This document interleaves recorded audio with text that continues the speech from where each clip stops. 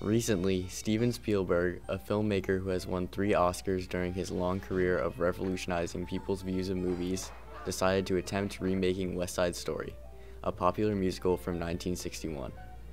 This was the first time that Spielberg had ever made the choice to tackle a musical. In 1957, when it was first released, West Side Story was created by Stephen Sondheim and Leonard Bernstein as a Broadway stage production. The huge success of the production led to the release of a feature film adaptation in 1961, which was directed by Robert Wise and Jerome Robbins.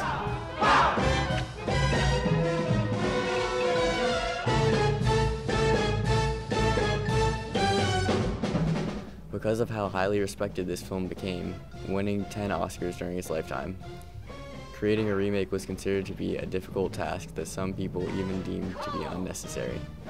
Despite this, Spielberg's vast experience, along with his love of West Side Story since childhood, made him the perfect candidate to take on this enormous challenge. For Flyer News, I'm Ryan Kish. Let's take it back to the desk.